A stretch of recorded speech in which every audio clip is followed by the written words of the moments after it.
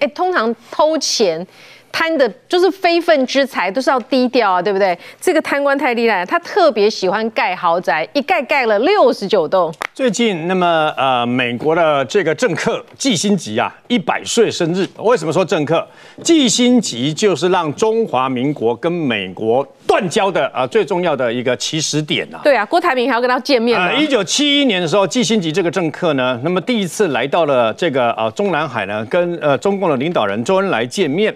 那么事实上，现在他一百岁，他总共去过了一百多次嘛，他是非常有名的美国亲中派就对了。习近平这次为了接见他，那么又因为他刚过一百岁生日嘛，所以就用这个鲜花部署了哦，单单那个部署那个台面呢，部署了这个啊山川啦、河流啦，甚至有桥梁啦等等啦。然后呢，紧接而来呀，还有包括金鱼啦、如意啦，那个寿桃，我们刚刚看到那个寿桃大的那个大寿桃啊，其实里面。藏了另外九十九颗小寿桃，总共凑一百个寿桃。因为为什么拍马屁？因为季星吉刚好过一百岁的生日嘛，事实上已经过了啦。然后紧接而来啊，那么弄得这么漂亮啊，它金碧辉煌，连那个餐巾。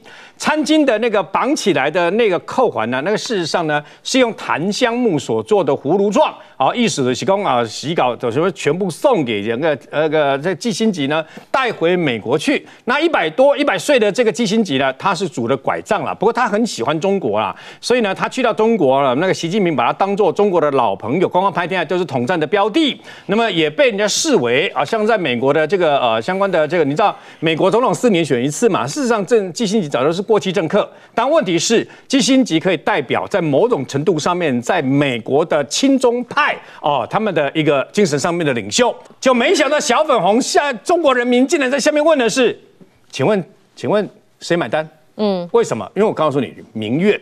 嗯，以前的话不会这样，奢侈浪费。为什么？因为我们的年轻人。我们的青年人失业率二十点八，他找不到工作。然后呢，为了这个，为了这个啊，退休人士呢，一点点的这个每个月的医保还给我们扣扣几一两百块的这个人民币，要你弄花那么多的钱去弄这个东西啊，那就是民怨。嗯，然后如果你在不应该这个花钱的地方花钱，那老百姓都不高兴了。那在中国的贪官部分呢，我们今天讲的那个关关节都不大，为什么呢？湖南省的衡阳县政党组书记哦，主席叫做。彭应龙，哎，关键都不大啊，听起来是地方小官，对不对啊？他总共在老家盖了两千七百多平方公尺的别墅群，而且它里面连石狮子都有，亭台水榭。不过他为了怕人家讲话，所以还用了防护网伪装，你知道吗？啊，防护网伪装了以后，那戴基本是变，啊，最后还是被查出来了。那。他自己本身这些钱哪来的？这些房子的钱全部是贪污来的，而且呢，里面的这个房子里面的这个装潢啦，然后装修啦、家具啦、电器啦，全部是从公款里面那么贪呃报销这个贪污来的。另外一个天津市的这个滨海滨海新区的管委会党组书记、副主任，听起来就很小的官呐，叫做王占山。王占山呢，他。也是很小的官，但是他盖了一个仿照北京奥运水立方的一个非法的这个相关的一千两百多平方公尺的私人会馆，还有豪华别墅，我的天呐，还有私家花园，你不是一个小官而已，怎么可以盖到那么大呢？另外，浙江建德市人民人大代表那个啊村党委书记啊吴呃吴康梦，吴康梦也是。他侵占的土地大概有十几公亩之外呢，那么还有包括豪华大概八千多平方公尺的别墅跟私家公园呐。哎，一一个小小的人大代表，一个小小的村党委书记，竟然可以有这么大的一个呃，等于说私家公园，还有这么大的一个豪华别墅啊，那么太离谱了一点呐。那么中国的贪官最新的一个记录是哪里来的呢？哈尔滨市电业局的副局长李伟跟他的三兄弟，因为装不拢扣起来啊。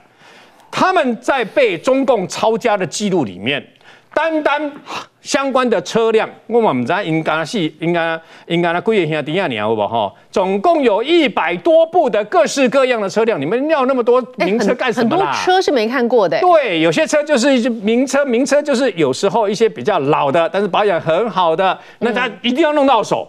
不过问题就在，哎，这些车还要偶尔一定要有人去专门的人去开呀，你知道吗？把它发动，不然会坏掉啊。收藏了那么多之外呢，单单这些还有限量版啊，超过啊，大概新台币超过四亿三千万以上，这是保守估计。那么几个兄弟啊，李伟跟他的兄弟呢，更有豪宅六十九栋。全部用现金去买啊！我蒙尼亚利这现金哪里来嘛？就贪污的嘛！所以你就知道中国的贪官，即便不是那种很高高在上的贪官，他是小地方的小贪官，都能够有这么大的手笔啊！不怪老百姓，给我们政府等于说呃收刮的嘛。因为为什么？因为钱都被贪官给贪污掉了嘛。所以台湾每次报贪官新闻，中国大陆都非常不屑。没错，偷那么点钱，小家子气是不是？贪了几百万。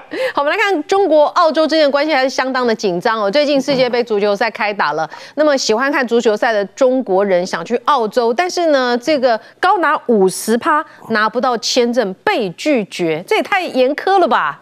这是不不简单的事情啊，因为中国足球大家知道是什么样子嘛，嗯，但是这一次是女足赛啊，这是四年举行一次女足赛，澳洲跟纽西兰都分别举行几场啊，总共有六十四场，那澳洲有三十五场哦，那问题是什么？中国队，中国女足队。都在澳洲的场地举办了，比如说在雪梨、在布里斯本、在阿德雷德，那纽西兰那边没有，结果就有中国的网友哦发现了一件事情，他们买了门票。但是准备要去澳洲的时候，在申请澳洲签证的时候被拒签了，拒签率高达百分之五十左右啊！嗯，那那那他当然纽西兰那边是很容易拿到，但是澳洲这边竟然很很难拿到，而且门票帮你看他门票买了，他也要订房了，哎，这个都要先准备的，对对对，签证拿不到，签证拿不到，那签证拿不到之后就没办法去他的自己的中国足球队加油嘛？怎么办呢？到时候输了又要怪东怪西。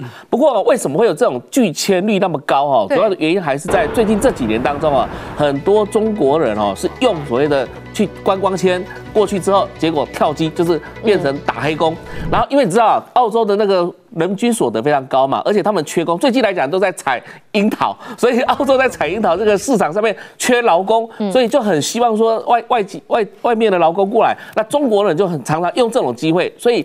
澳洲政府已经发现了这个非常严重的事情哦，所以就拒绝率很高。那中国他们那边在申请签证跟台湾不太一样，现在台湾已经加入这个澳洲 ETA 就电子签证的行列当中了。你只要上网，大概花个二十块澳元，然后呢，大概五分钟内，你把你的护照还有照这个头像大概弄一弄，基本上马上就就寄给你了，你就可以获准进入到澳洲了。然后如果你没有任何刑事记录或是有家暴记录啊，哈，那如果像中国的话，他通过旅行社去办，他这个六零一的这个签。签证的一直下不下不来，那下不来的情况之下，就是拒签率非常高。但是其实哦，最近这几年当中哦，其实不是只有澳洲，其实很多国家对中国的拒签率都非常高啊。比如说像美国，像美国来讲的话，有网友发现到说，他们到上海的美国的领事馆，或者是到这个北京的，其实他们被拒签的这个这个非常高，因为为什么？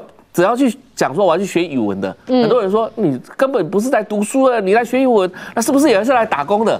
所以有很多这种拒签非常多啊，在很多地方都发现发现这种情况。还有一件事情就是什么？最近的中国政府很奇怪，他们啊呃限制自己的国民哈，尽量在国内消费，你不要到国外去消费，因为他想要扩大内需。对，所以啊，我我在七月初的时候，我跑一趟澳洲嘛，我到雪梨啊。哎，以前来讲的话，我在两年两年前就是疫情之前的时候，有到雪梨去看的时候，到处都是中国观光客。但是现在来讲的话，在雪梨你很难碰到中国观光客，特别在中国城不讲，而而且中国城那边好几家中国商店也其实倒了蛮多的。为什么？因为没有中国观光客去啊。